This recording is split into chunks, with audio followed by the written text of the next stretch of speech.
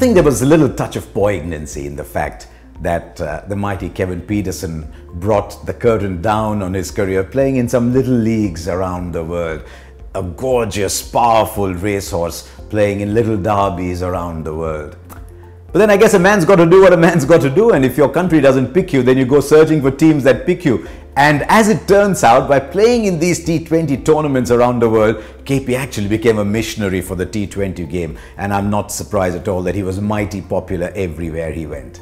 Kevin Pietersen was born, though, ironic as it might seem, given the way he ended, KP was born for the big stage. He loved the sense of occasion, he loved the sense of drama, often he created it himself. And I think, and I've asked him this once in a passing moment, I think he was more Australian than English because I think he handled Mavericks a little better and KP was as, as much of a Maverick as any you get. But he wanted to be English.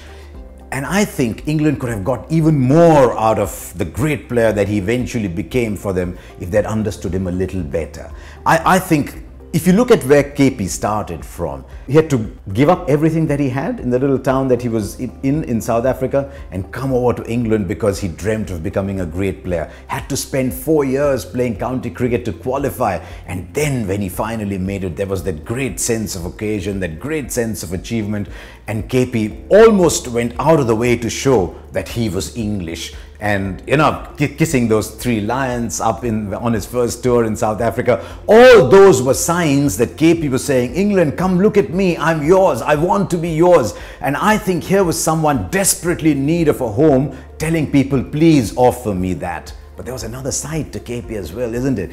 KP could KP could almost say I am the star, come look at me. And it didn't go down too well in English cricket, which, which, at that time under Andy Flower was all about fighting in the trenches, about being very disciplined. It was an approach that had worked really well for Andy Flower, one of the finest cricketers of his generation.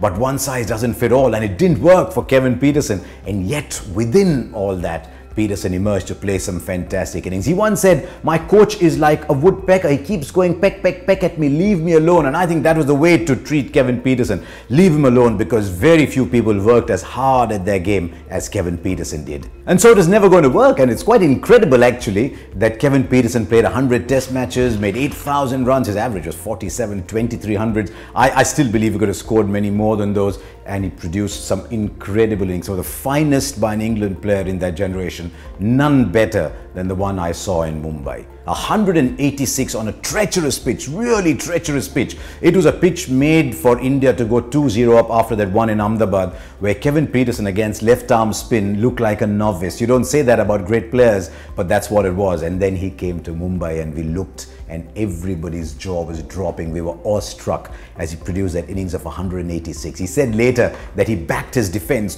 tied through that phase but uh, wow, I mean, there's only one innings you want to remember of Kevin Pietersen, it is that one. And if you ask cricket fans in India, which were the greatest innings played in India over the last 15, 20 years, Kevin Pietersen's 186 will feature there. When T20 came along, he took to it like a fish to water. England's one big triumph in the World Cup was fashioned around Kevin Pietersen and his dalliance with the IPL, you could see that he was telling England, come go play the IPL because you'll come back better players. But as I said, it was a different phase. And ironically, the arrival of uh, Andrew Strauss, with whom Kevin Pietersen never got along, almost propelled England towards becoming a more modern country. I had a lot of time for Kevin Pietersen and I, I wish him well. I, he's been magnificent for our sport.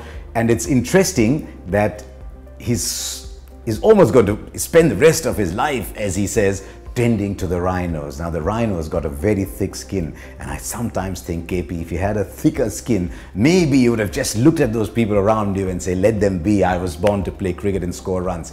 But 100 test matches for England, some glorious innings, some unforgettable innings, and innings that stamped you as, as, as a player who defined his generation. Was wonderful to watch.